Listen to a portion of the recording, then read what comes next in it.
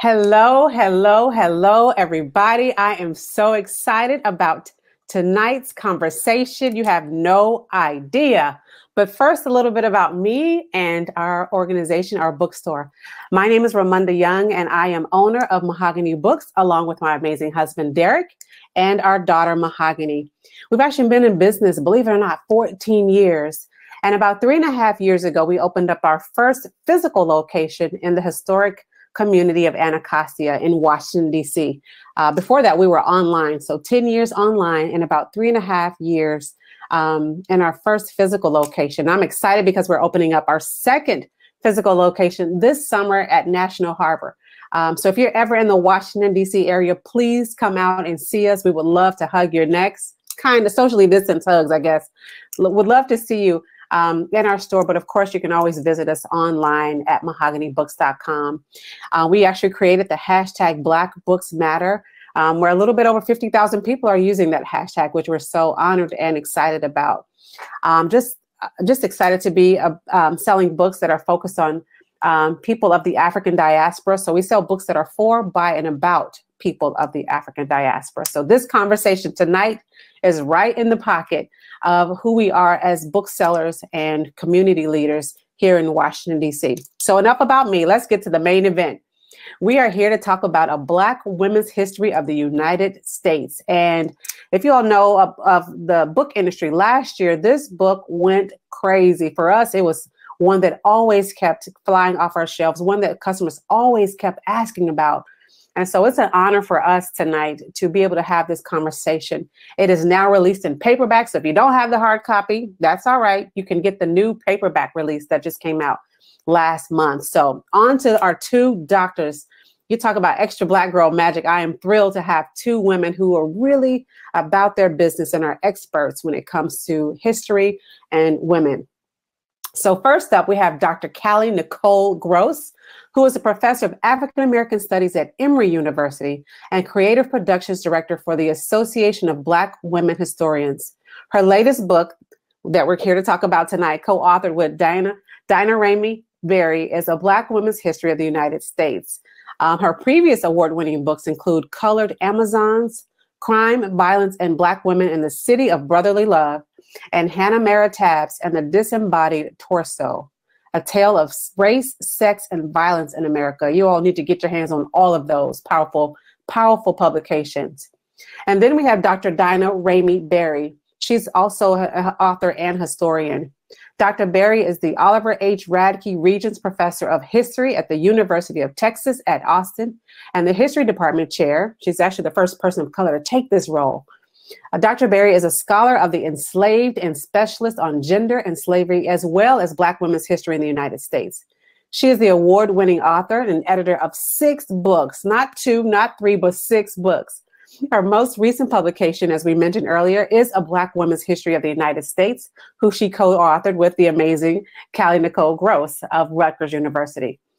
Um, the um, empowering testament, the book is an empowering testament of Black women's ability to build communities in the face of oppression and their continued resistance to systemic racism and sexism. Professor Berry completed her BA, MA, and PhD in African American Studies and U.S. History at the United uh, University of California. Please help me welcome to the stage these amazing doctors, these amazing ladies um, to the stage for this powerful discussion tonight.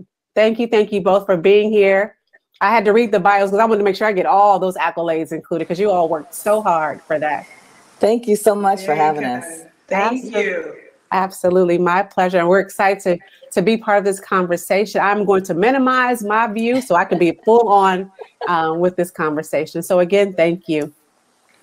Thank you. So, Kali, this is one of the first times that we get to just talk to each other. Um, I think since the book came out, I, we've talked at people, but we haven't really talked to one another that much. It's true. I was thinking the same thing. Um, I, do I sound echoing to you? No, you okay. sound good. Yeah. As long as it's clear. No, it's true. i w- I'm excited about this. I was thinking, where where do you want to start? I think we should start with um, like the background, like about how the book came about, and I think we should also talk a little bit about how it's been received and like a little bit of our experience over the last year. You know, maybe Okay, that's. What, I mean, and we can see what we go from there. See what see where we go from there. Okay. So uh, let me interview you. So, how did you come up with this book? Okay. So actually, the origin to this book, um, there are many origins. Ina and I worked together at UT Austin, and we had actually been sort of talking off and on about the need for a newer kind of historical survey of Black women's history. At the same time, we were contacted by an editor from Beacon Press, um, Gayatri Patnaik, about the possibility of doing such a survey. So it seemed like everything just sort of aligned and it came together. So that's like the simple origin. Yes. But I really feel like the project got legs when we were like struggling with our outlines and our drafts, and we, you know, threw ourselves on the mercy of our our sister scholars who we convened for this workshop, and we just basically spent a day with these brilliant, generous scholars Mhm. hashing it out. Right? What Absolutely. What would this thing really look like? That was a great if you wanna day. Weigh in now. Yeah, no, that was a great day because you know we were at uh, when you were at Rutgers, you're now at Emory, but we were at Rutgers and there was a snowstorm. We we people's flights were getting canceled, so one of our colleagues, Dr. Rhonda Williams, um, who's at Vanderbilt, was not able to come. Um, I was traveling with my mother, um, and we were you know wasn't sure if we were all going to make it. Um, but we got there, and I think it was like almost 12, a 12 hour day where we just sat around a table um, in this beautiful space. And to have 10 other, you know, sister scholars there, um, looking at what, you know, we really put ourselves out there because some of the versions of what we shared, um, I, I can say were pretty rough. Like some parts were like rough cut, like that should say, should have stayed on the edited, edited floor, editing room floor. Um, but we had some chapters were outlines, some of them were actually fully drafted chapters. Some of them had like sections that were there, and then others. What we lost Kali for a minute, but I'm gonna keep talking. Um, we had some uh, connections that were there, um, and the chapters were doing fine. Um, and then we had others that we just kind of weren't sure where we were going, so we'd have part of a chapter and then part of an outline. Um, and so it was a great conversation because we sat around with all of these other scholars and they gave us ideas. Um, they talked about things that we had missed, or you know, you made assumptions about the the, the audience in this way. Um, you, you know, what one of the things that we were really proud about to bring this this really really rough draft to these sister scholars, right? Remember, was that we had all these women that nobody would have heard of. We were trying to find like all the gems of Black women's history, names that people would have never known that hopefully would then become famous, right? Like, and the first thing that they said to us was, uh, "You need to put in Harriet Tubman. You need to put in uh, Ida B. Wells. You need to put in, you know, Shirley Chisholm. All these names of women that anchor folks so that they know who their contemporaries were." So we had all the women that worked in the same communities with them, but not the actual anchors. So it's really, really interesting. Um, that was not a criticism that we were expecting, um, but it was really, really valid, valid advice. Um, and I think also we spent some time talking about um, the timeline of the book, right? Didn't we talk about, Yes. you know, the, We- the the periodization, right? We did. I mean, that was the other piece. One of the things that was was this challenge was we wanted to do a really good job, and we wanted to. On one hand, it was not meant to be like the end all be all history about Black women. It was Mhm. supposed to sort of pique people's interest and Mhm. be kind of a broad, broad strokes. But we still wanted to represent all kinds of Black women's experiences, Mhm. and we wanted to incorporate um, themes that we don't normally discuss. And we wanted to center Black women's experiences. And so that Mhm. is how we got onto this whole periodization discussion. Yeah. Right? How, are we framing these chapters? On one hand, we wanted them to be legible in case people wanted to use them in courses. But on the other hand, we also wanted to um, to have Black women's history drive the, the narrative from start to finish. And so Absolutely. that rethinking how we structure these chapters, what this periodization was going to look like. It was just, it was a really intense, generative day. It was. But It it, was. it completely transformed the, the manuscript. And I think from that was when we really started to have black women at the forefront. Like yes. opening with the vignettes yes. of black women who represented these periods, naming the chapters after the women themselves. Yeah, yeah. yeah. Like really just going, taking every possible step to have black women's experiences really kind of drive and shape the whole book. And also it was important to include you know, the experiences of Black queer women, of mm-hmm. women who have been incarcerated, but also, you know, every time We try to have a, a, book where folks could pick it up and recognize themselves or folks yes. in their family or people mm-hmm. they're allied with. Yep, absolutely. I think I remember one of the my favorite parts of that was like figuring out and remember going back and forth with you so much. Like we would over email, over phone about um, deciding like who to start the chapters with. Like who represents this chapter? What's the best opening? How can we bring the reader into this time period in american history? Um, does this woman or girl or young lady tell the story that we want to tell in this chapter? And that was fun because we had like you know lists of people we were going back and forth and talking about why different people would work. And i remember just enjoying that part of it. And then just the discovery of so many remarkable young black women girls and mothers and and um, just uh, remarkable women that that that sprinkle our history books uh, or that haven't sprinkled our history books that we hope that this book would actually add to that conversation i think one other thing i think we should say too is that um, we not only stand on the shoulders of the 10 women that were in that room but we stand on the shoulders of a, a of a, a, team of scholars a, ge- generations of scholars that have been doing black women's history yes. um, you know from that starting in the 1970s with angela davis publishing an article um, on Black women in slavery, and then moving forward to you know other scholars like uh, Gerda Lerner, uh, Darlene Clark Hine, um, uh, Paula Giddings. Paula you know, Giddings, we could go on and on. Yes. there was always you know these generational sort of studies. Um, that were sort of foundation. Deborah Gray White.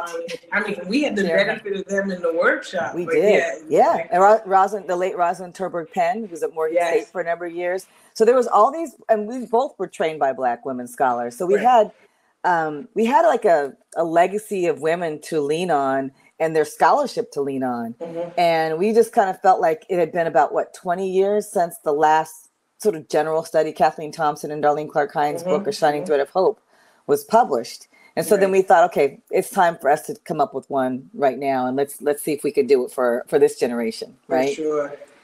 So one of the, the other thing that I really like about about the book, and this is your genius idea, Daina. I really like that we started with Isabel de Olvera. Yeah. Talk talk a little bit about Isabel. Oh my gosh! So Isabel is someone that like um, historians of the American West probably have heard about. So we're not the first people to unearth her story for, by any means. Um, Dedra McDonald and uh, Quintard Taylor have both written about her. Um, but we we felt like we wanted to start the story of Black women that were free, because so much about what we learn about American history has African American people or people of African descent as enslaved. And that's how we've come to this country. That's how people have marked our space for the first 245 years. And that's not how we came into the world, right? Um, um, for the most part. And so we wanted to start off with people that were free first before they were enslaved. And when we found Isabel, we thought that she was great, Isabel de Olvera. Um, we open up with her in chapter one. Um, this is a woman of African and Indian descent. Um, she goes to her local, um, I think it was her mayor of her city um, in Mexico, and she files a petition to go on an expedition. I mean, this is amazing. So you have a black woman explorer. I you know, that's I would that's how we would characterize her. It might be an exaggeration, but you know, this is someone who on her own um, she says she's not bound by marriage or slavery, which we think is hilarious, and um, that she wants to go on this expedition uh, to which is later becomes New Mexico. Um, and she wants to make, she knows that she's going to annoy people because she's a mulatta and she wants a piece of paper. And she ends her testimony by saying, I demand justice. So for us, here is a woman of African descent who's free, who's advocating for herself, who asked for a petition and is demanding justice. And we believe that Black women started off in this country demanding justice. And I would argue, and we both would argue, that we are still demanding justice to this very day.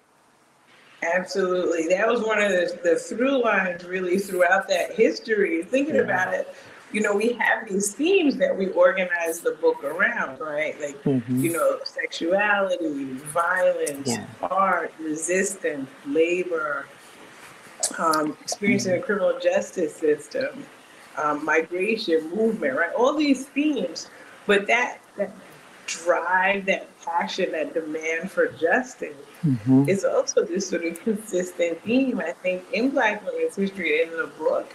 And we encountered it in ways great and small. Like, yeah. you know, just blown away by that. You know, we're, we're both historians, we do Black women's history. But in writing this book, I mean, I still was blown away by some of the histories that we, you know, we learned about it. I learned a lot in the process. At points, I was like devastated. Yeah, yeah. You know, I mean, it was it was it an was... intense process, but that spirit, that passion, that demand, the drive for justice, yes, and the ability of Black women to collectively organize, yes, um, seem like this just sort of overarching kind of. Um, characteristics that have sort of made me think a lot about how, how I reckon Black womanhood you know. Mm-hmm, mm-hmm. It's pretty amazing. Um, so let me ask you this. We get this question a lot. Like two questions for you. One is who is your favorite person in the book? And the second is who do we not include that if we were to write another edition, which you know, who would we include? Oh gosh, that that that second question hurts. You know, it's like, oh it we have a story about that too. It's, it does hurt. But you know, I'm gonna start with a painful question first. Okay. So, if so, as I said in the beginning, right? We this was not meant to be like the exhaustive end yes. all be all book on Black women's history. Right. So we knew we couldn't get everybody in. We try really hard, but I, I do wish, in retrospect, that we had a little bit more about like Black women who work in like STEM Yes. So yes. Yes. We do, you know, I think it's like one or two examples. But it's like short. It's in passing too. It's not even. It is. We could have done is. a whole chapter on that, right? Really. So that's that's one piece that I definitely think I, I wish we could have gotten some more in. Yeah. Um, and in terms of the the favorite people, I mean, there are so so many. Um, I usually talk about Frances Thompson just because I'm blown away by her. Yeah. Um, but also really like you know, Cecilia Hamilton too. You know, the woman who went to jail because she she demanded that this white Southern judge refer to her as like Miss Hamilton, not by her first name, like in yes. the 50s. That's hilarious. like, I love her, right? Like, yeah. just that demand. You yes, know? yes. those, are some of my my favorites for sure. So I, now now turn that question over to you, Dr. Berry. Who are your favorites? Well, I already talked about my favorite, which was Isabel. But Isabel I think, yeah, Isabel de Vera. Would you um, add it? Oh boy. I mean, I think one of the things we did with the paperback, we did add a very sort of another thousand words, not a whole lot, but we did add some to the epilogue. Um, I think right now, given everything that's happened since the book has come out, um, the role of Black women in politics. I mean, we do talk about it with women that are running for office. We talk about, you know, Charlotta Bass, and we talk about other, you know, other Black women in there, Shirley Chisholm. Um, but I think, like, to bring it forward, you know, there's like something like eight. Don't quote me. I think there's eight Black women mayors right now. I mean, that's huge. That has happened since we began. I mean, of major cities. Um, and so I think that's worth noting. Um, black women have really moved into the political arena to me in similar ways that we saw black men during reconstruction have that okay. moment where they were in the political arena and had um, legislative roles and office and stuff so i feel like we're kind of in a watershed moment right now and i think if we could work that in towards the end of the book um, if we went past you know the obama election i think we could have we could have done that um, that's the one thing but and then i think i'll just say this and this is I probably i don't know if i should say this but i remember when I was getting on an airplane once. Should I tell the story? You know, or not? no, no. I don't want to get in no. trouble. Yeah. Well, let's no. say I saw a famous person that we had forgotten, and not that person will remain shall remain nameless. And I called uh, Dr. Gross on the cell phone on the plane. I was like, before we took off, I said, "Okay, do we have her in the book?" She was like, no. And I was like, ah, because I was I had copies of the book and I was going to bring it to her and say, oh, thank you for your work. And I was like, okay, I can't even say anything. I can't. That's so embarrassing. I can't. Here we do a Black woman's history. We see this person. I can't say anything. So she's in there now. She's in there now. But I mean, that was also a part of our struggle when we were trying to elevate voices of, women yes. people hadn't heard of before. Yeah, so they're asking us to tell them. I, I don't know because I don't want to get in trouble. I don't want to ever. No. Yeah. No, no, no, no, no. another, another time, another time. Friends. Yeah, we will. But, we will. it was um, an illuminating moment. So yeah. I do have a question for you though. Mm-hmm. What was what was the hardest part about doing this book? You know, I always go to the dark part. Yeah, I know. Well, I got well, you know, I can sit in this the hull of the slave ship, so you know that's where I live part time when I'm not working, functioning in the 21st century. So, I think the hardest part was trying to find, and we talked about this a lot, like ways to really bring the the experience of the Middle Passage forward into the book, so that the reader doesn't. I mean, we were we struggled because we were kind of going chronologically, and I didn't I remember talking to you about. We were like, well how far do we go into this space and this experience? We don't want to lose the reader, but also we don't want to, we want to be true to the history.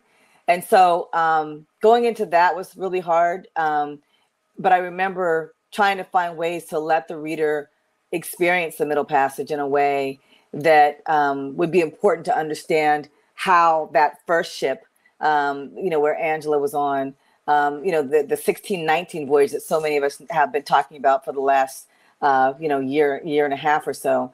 Um, really, that that was a much longer journey, and to try to go back. Remember when we were looking at the research to try to understand where they may have come from, and there's other scholars that are doing that work, but just trying to to bring that um, 20 odd Negroes that were disembarked at, at Jamestown, Virginia, or Point Comfort, Virginia. You know, bringing that uh, piece forward, I think that was challenging, and then also all the all the Black women in wars that we were trying to uncover. Um, it was it was easier as we got later, in, like we got the Civil War, but we were looking at American Revolution, the War of 1812, and trying to find ways to to, to show Black women's presence when we didn't have their names, we didn't have all details of their stories. I think those were the hardest parts um, for me, and then just not wanting to lose the reader, but because I I can handle and talk about slavery all day, but not all readers can, and I didn't want to lose anybody in that in that space.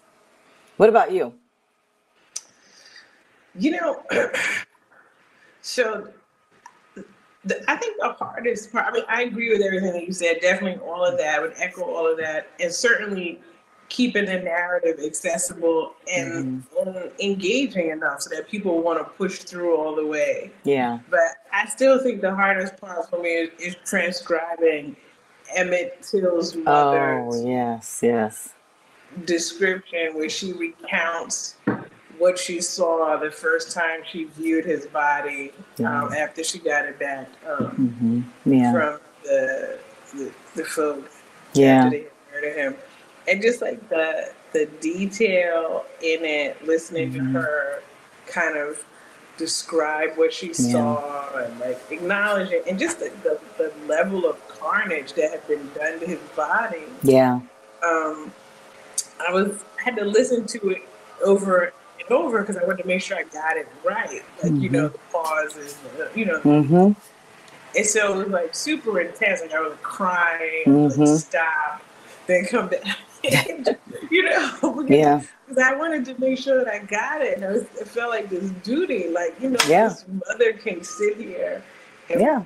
describe these injuries in detail mm-hmm. because she wanted to make us know, mm-hmm. right? This history that I felt like I had to honor her and get it right. But it was it was intense. Like I definitely felt the effects of that. Yeah, and I think the other thing is that we've said before is that we both were writing this book um, and we were mourning the loss of parents. So I had lost my father. Um, Kali had lost her mother, and then right not too long after that, her cousin, her first cousin and so we were writing through um, a state of mourning and some and the book should have come out a lot earlier but it came out when it was supposed to right? Um, but we were really going through that and trying to figure out like when we were going through the painful periods not only of our own pain and our own grief but also reading about the grief of, of mothers like mamie till mobley and others that we were we were like okay if they could muscle through and be in front of like an audience of you know i don't know how many people at a funeral and and to do that in the midst of their grief. And then we were also at the same time writing when there are other contemporary Black women mourning the loss of their children, their daughters, their sons that are being, you know, murdered and and abused by the by law enforcement and citizens. You know, that's like all of that violence and writing at this time was sometimes hard to swallow, um, and just also it just puts you in, as a writer it puts you in a different state of mind. Like i had trouble and I've, I've, I've had this before with writing and we've talked about this. I had trouble interacting with some people i was around. Like it, just in general some days i just was not wanting to be social. You know how that is. Definitely. Uh, yeah. So definitely. Definitely. All right. What was the triumph for you in the Oh, I know the triumph. This is going to be sound. This is this is the nerd. This is the archive rat. But this is when remember there was we were trying to find women in the American Revolution, and I was working with the student researcher, and I found a document that, that on the website it said that there was uh, an enslaver who went back to bring to bring back people from the, the American Revolution that they had, he had allowed them to go in the war, and that there were seven men and one woman and so we called, my student called the archive and we went back and forth. And they're like, oh, there was no woman. There was no woman in this group. This enslaver didn't own any women. I was like, well, your de- descriptive inventory on the website says. Long story short, they're like, well, no, that's wrong. I said, okay, well, I'd like to have a copy of the document. So I bought it. Remember this? We bought it and then they sent it. And literally as big as day, and I have to, I have to find it. It was huge. It said uh, seven men and one woman. And so just like the level of erasure that happens to black women historically, also happened while we were writing this book. Um, there were Black women that were in archival spaces that people were trying to not allow us to see. Um, but we felt like even though we don't know her name, it was important for us to, to have to tell her story and to say that she was there. And this is a Black woman that we know her enslaver sent them to, to be a part of the American Revolution. And we wanted her story to be told. So that was that was triumph because I was like, I felt like we reclaimed somebody, even though we don't know her live, who she is. I felt like we we're able to tell her story. She's a part of American history. What about you? I think I know uh, yours. Hands down, finding the engraving of Frances Thompson. Yes, that was huge. So, for folks who don't know, Frances Thompson was this woman who had testified about mm-hmm. being attacked during the Memphis riots in 1866, just after, you know, folks were newly freed. They were trying to access the right to citizenship, mm-hmm. and you know, just like racist white mobs intent on mm-hmm. reinscribing the racial hierarchy of old. So she testifies about being brutalized and sexually assaulted mm-hmm. before a Senate committee. It's one of these pivotal moments because it's sort of uh, it marks this powerful moment where Black women are again going on record to officially say that they did not consent, right? Like reclaiming their bodies in this different way. But then after that, she kind of just became like persona non grata. She was harassed by the police a lot. Um, there were all these accusations against her for running like a house of disrepute. They also accused her of being a, a man in women's clothing. And so they finally like arrest her and subject her to these medical um, examinations. And they say that she is that, even though she says that she was of double sex and chose to live as a woman, they said that she was a man and put her in prison. Mm-hmm. Um, and so she still, you know, maintained her fight. People asked rude questions to her, and she would tell them none of their, their damn business. I love that. None um, of your damn know, business. She survived her term, but she died shortly after. And I was, you know, looking around trying to find her, and I tell this story all the time. Like I never, a lot of people who use like eBay archives for documents, rare mm-hmm. documents mm-hmm. that people have that they sometimes auction off. Like I never looked at it before or since, and I somehow randomly like found myself on the site, typed her name, and lo and behold, yes, she was somebody with a copy of the Day's Doings from That's 1876 crazy. with some etchings of Frances Thompson in there. That's crazy. I know. But you know what? That's like isn't that weird how black women or black history in general is like in thrift shops, at auctions, like, you know, literally, I mean, like again, right? Uh, in, right just, in, in your auntie's everywhere. basement, yes, in yes. your family Bible, yes, all yes. these things, right? People have these documents. So it was super. That was one of the big moments for me. Like, yes, I like, know. And to have the so, two images was really important too. Yes, right? that was, yeah. was huge. So I know that now we're supposed to zip it and engage questions. So friends, over to you. We will look in the chat or here we go. See what questions we're supposed to entertain. Yes, yes, yes. Thank you, thank you. I actually love this format. There's no one in the world who has the type of insight, back behind the scenes stories that the two authors have. So we haven't done this, so thank you. Yeah, yeah. We try to shake it up a little bit here at Mahogany Books. For sure. So Love that it. was just that was awesome to really hear what you were thinking and feeling as you were writing um, Mhm. different parts of the books. Um, so one of the questions I have here is from, and I hope I'm pronouncing this correctly, Vidia or Vidaya Barnett. Her question is: Is there any one particular um, story or woman that you were able to draw strength from as you were researching their story? Do you, do you want to go first? No, I want you to go. I gotta think about it. Wow. well, okay, so I'm always going to go to slavery because that's I'm a scholar of the enslaved. Um, there are a number of women that I would say uh, one I would probably go with is Mamima. I might be saying it wrong. I always get I always get tongue tied on her name. This is the uh, McCoy twins' mother, um, who fought to have her daughters back uh, when they were taken at you know around two years old. They, th- these are the two conjoined twins that were put on circus and stage, and all people made money off of their bodies and freak shows and all kind of stuff. Um, but their mother never stopped trying to get them back into their possession, into their family. They had you know several siblings. She even went to Europe and went to court. So here's a black woman in the 1830s, 1840s, I think it was. I don't remember the date right now, um, who went uh, overseas and went to court to reclaim her children. Um, and I think that was pretty powerful. Um, and it wasn't something that was at all easy to do. So I gained strength from that, like the, the, how to, to continue to fight. Um, we didn't tell her story too much in here, but Sojourner Truth is another black woman who went and fought in the court system to, to get her child back, you know? So there's just those kind of like the, the ride or die kind of attitudes of black women who are not going to stop um, and not, and, and also use the law and use the court system and, and try to operate within that system to gain their rights. So I think that's really motivating. Not that I necessarily have a lot of faith in our injustice system, but I'm just saying. Okay, those are Whoa, that was a deep word right there. Sorry. This is a great question. so, I mean, I definitely am. I'm in awe of of Mamie Till. Um, just, you know, we'll always be in awe of her having sort of the presence of mind to make this heroic decision.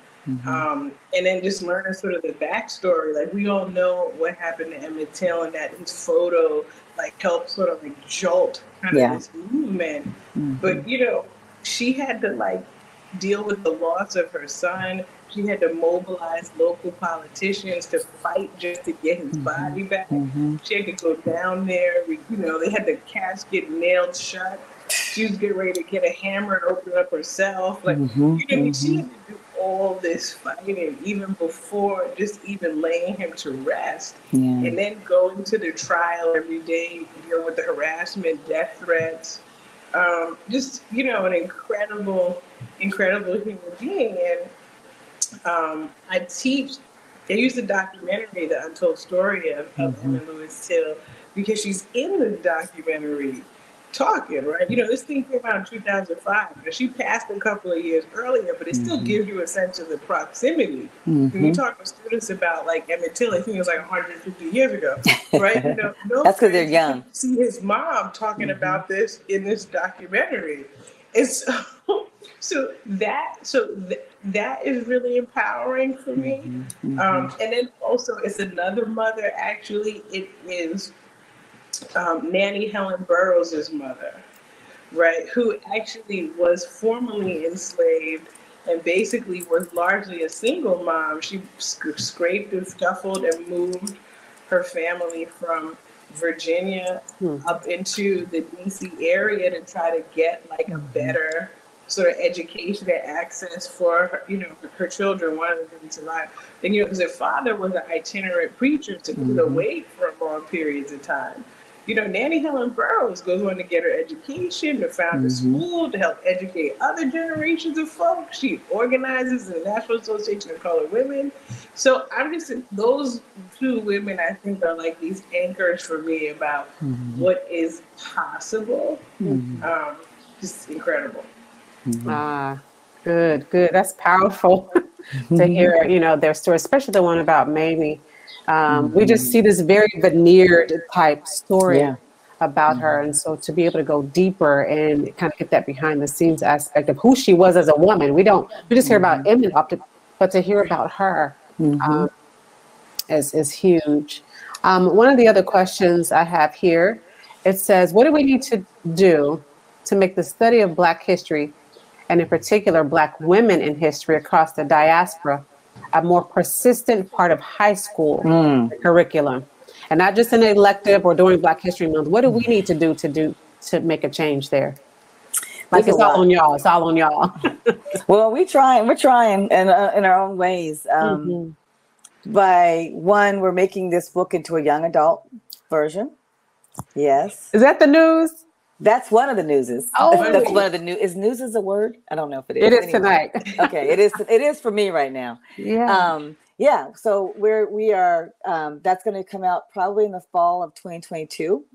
Um, Tonya Bolden is the adapter, and some of you may be familiar with her work.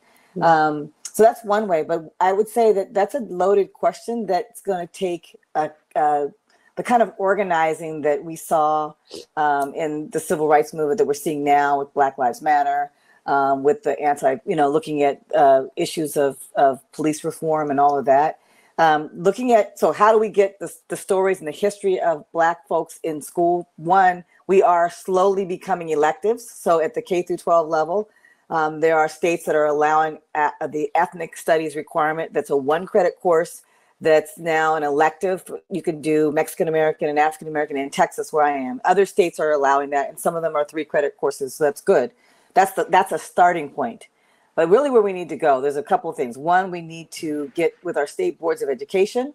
We need to get with the the standards, the teaching standards, and make sure that Black women and Black people as a whole are included in those in the in the standards of what students need to learn about American history, um, and that you know you know black black people have been a part of American history in, in almost every time period that we have documentation for, um, outside of when indigenous people populated before Europeans arrived. Okay, um, right. So I, predate yeah. the pilgrims. That's you, right. Yeah, that's what I'm saying. So so I think that there's there's there's that. So dealing with the school board, getting uh, people to recognize it, and right now, you know, you can take an, a U.S. history, and some professors and some teachers incorporate the African American experience in that. And give all credit to those that do. Mm-hmm. Um, there's others that that they consider that that should be a Black history course and not a U.S. history course. So there's a way where we have to look at telling American history from multiple perspectives that include Black people, that include Black women. That's what I would say for that.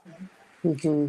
The only thing I would add is is that we've also been doing more and more work with um, teachers themselves, like mm-hmm. workshops with teacher training, and also trying to introduce them to this history mm-hmm. to really kind of demonstrate how they can also incorporate it and use it.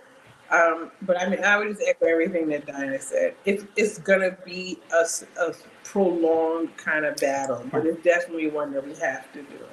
Yeah, and I agree with that too. As a black bookstore owner, just to mm-hmm. touch on what Daina's saying, a lot of people think, oh, it's just black history.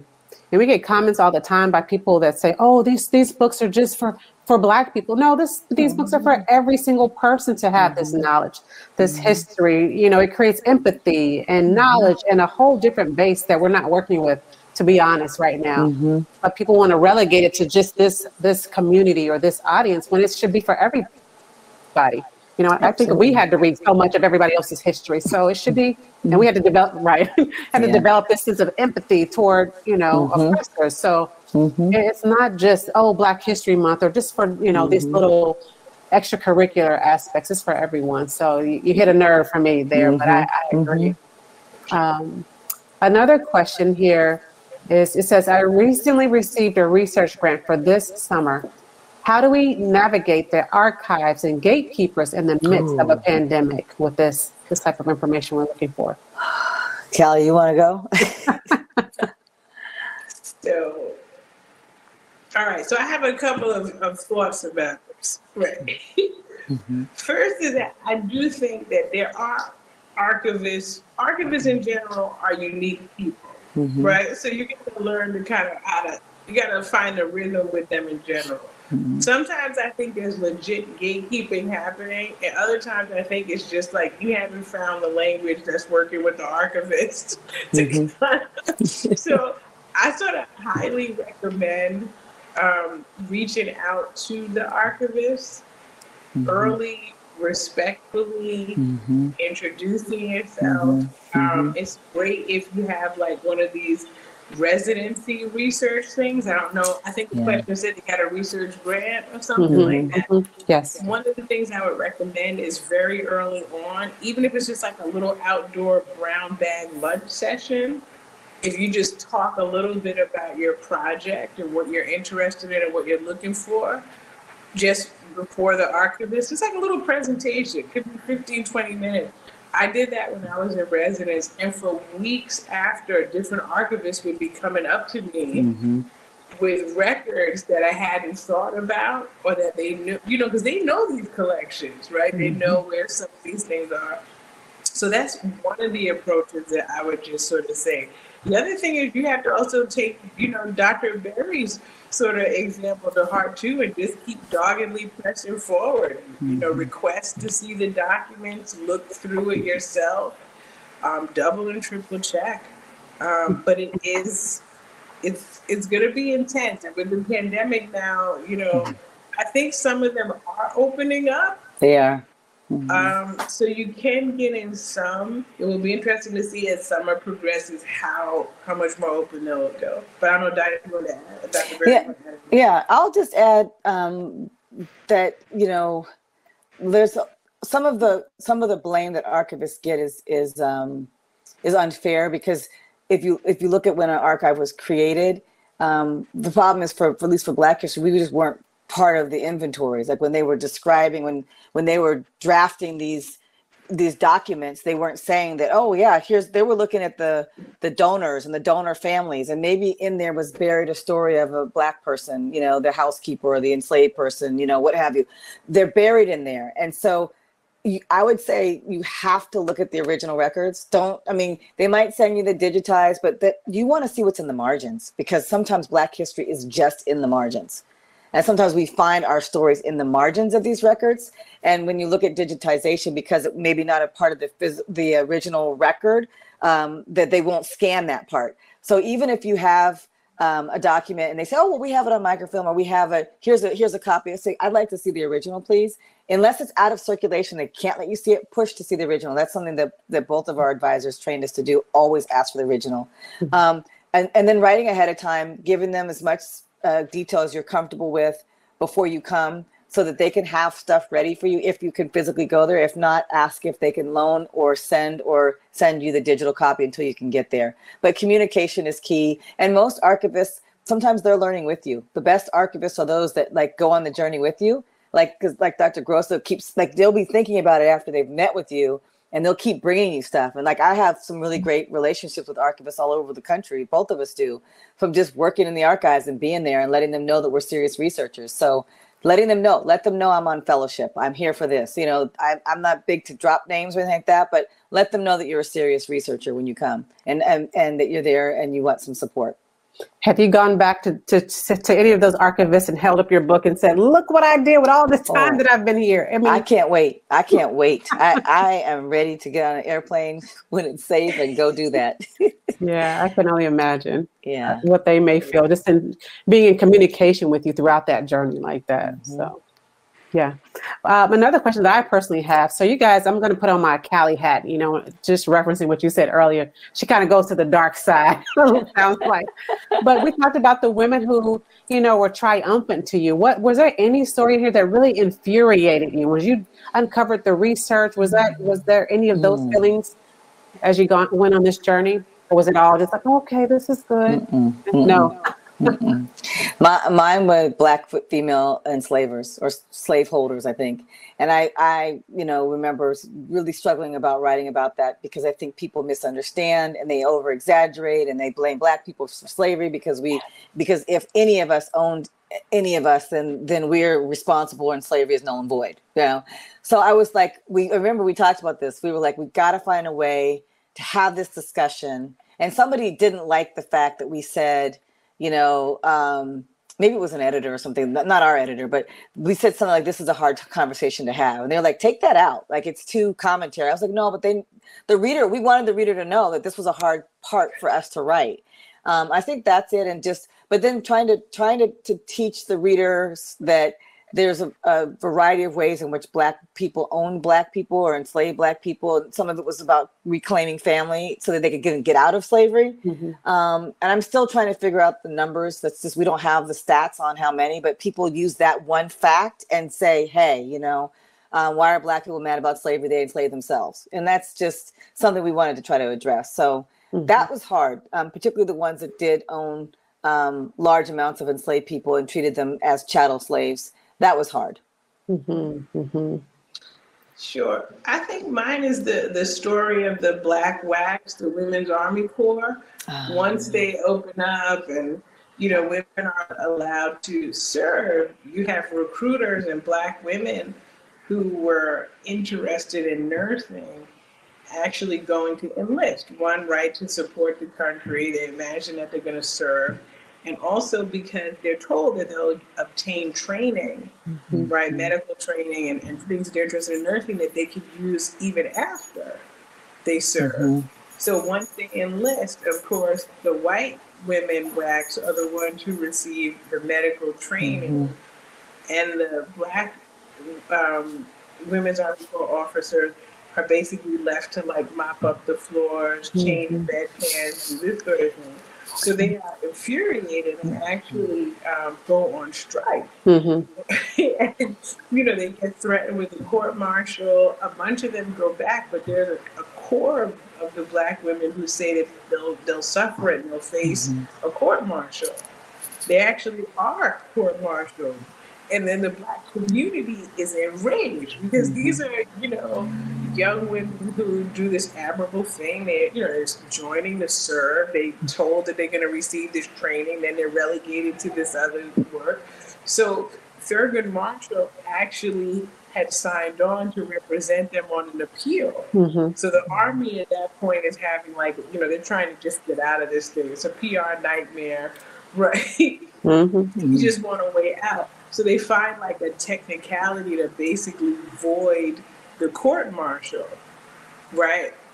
So, but the women just go back mm-hmm. To the exact same conditions mm-hmm. that they had been fighting and protesting. And mm-hmm. my heart broke for them mm-hmm. because yeah. you know they yeah. joined in this thing, with, you know, signed on with this optimism and this earnestness to serve and to learn, mm-hmm. and they just were totally exploited. Even after they fought an uphill battle and faced mm-hmm. a court martial and everything, you know, they still ended up being returned to those positions where they were basically like the cleanup crew on the. Mm-hmm. Yeah, it's crazy.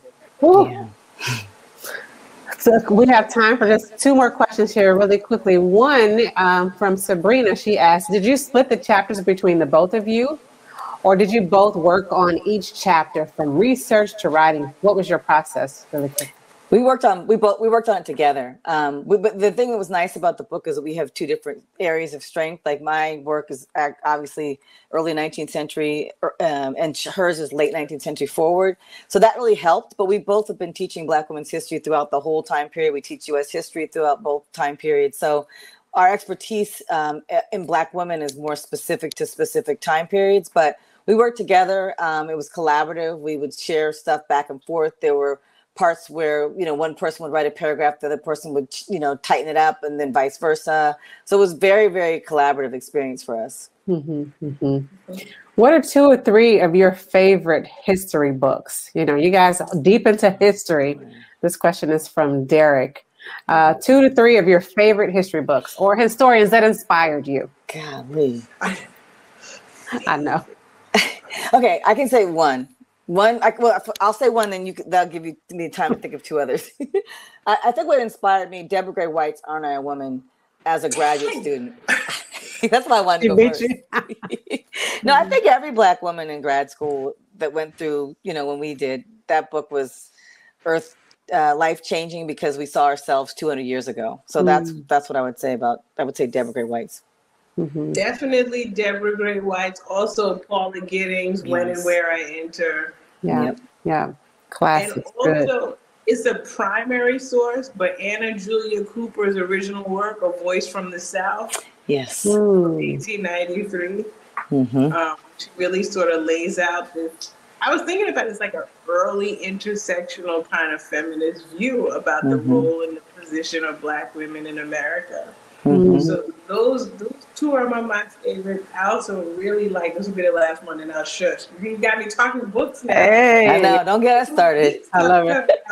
the other is um is Tera Hunter's to yes. 'Joy my freedom. Mm, um, yeah. Also, I think a really really great history, but learned a lot from the book and a lot mm-hmm. from how the book was written. Mm. Yeah, that's good. That's a great book. Um, I would I would go back to a primary book, t- primary source, "The Incidents in the Life of a Slave Girl" by Harriet Jacobs. I think mm-hmm. that should be required reading along with Frederick Douglass's um, uh, autobi- one of his three uh, autobiographies or narratives. Um, and then I would say Ida B. Wells' Red Record, even though that's mm. not yeah, those are those are like foundational for us um, very foundational books for us. Um, and, and When and Where I Enter was another one. So yeah. those are those are the ones I would say. Powerful. So in closing, thank you for sharing that. There are some I need to write down. I'm going to watch the replay and go back and get some of these books that I need to add to my own personal collection. But what do you, um, and someone's like, please list the books. We will. or watch the replay, Miss Butler, Pam Butler. mm-hmm. So, oh, Daina's putting them in. She's so good, Professor. um, but I was going to say, just in closing, what do you want young women to walk away with once they read this book? When they get mm. this book in their hands, whether they're teens or not, but or young, you know, what do you want them to walk away with when they read this powerful book? Hmm. I'm typing, so I'm gonna let you go first. you know, it's a, it's a great question. So I wrote this book with my own daughter in mind. Mm-hmm.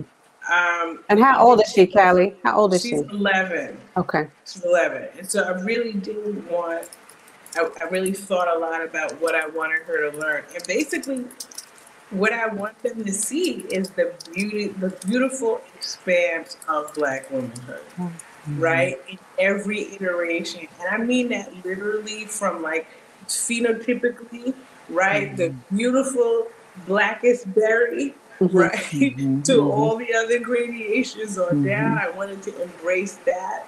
Um, I wanted her to see beautiful images of dark complexion black women. I wanted her to see images of women who were educated, who were athletes, who are artists, women who had been incarcerated. I wanted queer. I just wanted it all. Women who were holiness preachers, right? Women who were who were sex workers. Like I just wanted her to see the expanse of Black womanhood because it was important for us to include the the triumph as well as the people who didn't because that represents the totality of our experience. Even when someone wasn't able to overcome an obstacle, we still learn from that. Mm-hmm. So I guess that's like the thing that I wanted her to just be able to read this book and see the full expanse of all that we are and what we can accomplish when we organize and what we've come through. Mm, that's good. That's good. good. That's good. Mine's easy. I, I think um, I wrote I wrote it thinking about the book that I wish I had read as a, a little girl because I grew up in a predominantly white community in Northern mm-hmm. California, but my family was from the East Coast, and you know I had black culture and I'm very confident of who I was as a black person as a young black girl, but I never saw myself at school. I never saw myself at the career day. I never saw myself in the books that we read. So um, I, I, have a son, um, but we, you know, at his school, I've always talked at his school.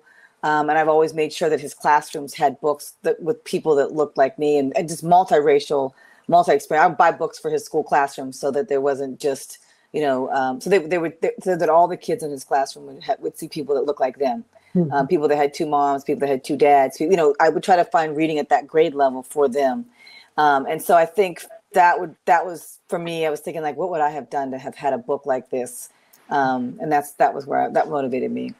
And so now thousands upon thousands upon thousands of girls and boys will have access, especially for the young reader version. I think will be just so powerful. And I do hope that a lot of schools pick up that edition and put it into these kids' hands and make it required. That's the kicker. As mm-hmm. somebody asked the question earlier, how do we make this text required? But mm-hmm. even if the schools don't require it, as parents, how do we get it into the kids' hands and, and know how powerful it is? So I'm excited that you guys are doing this. I can't wait to, to get that into the hands of all of our readers that come into Mahogany Books. Um, I'm just honored to have both of you here in conversation tonight. So thank you both. Any last words that you have? I just I'm honored. So just want to say thank you for for having us. Uh, thank you for celebrating our work and Black women's history. And um, you know we, we're going to support. We've always supported Black bookstores. I'm happy to know that you have a second location. Congratulations! Yes. And the next time, my my husband's from DC, so the next time we come to DC, we will definitely come and see you all. Absolutely. Thank you. Thank you both for that. Thanks so much for this opportunity. Thank you for supporting Black women's history and thank you for making Black books matter. Hey, absolutely. Thank you everyone for coming tonight. Thank you so much. Have a great evening and a great week. Take care.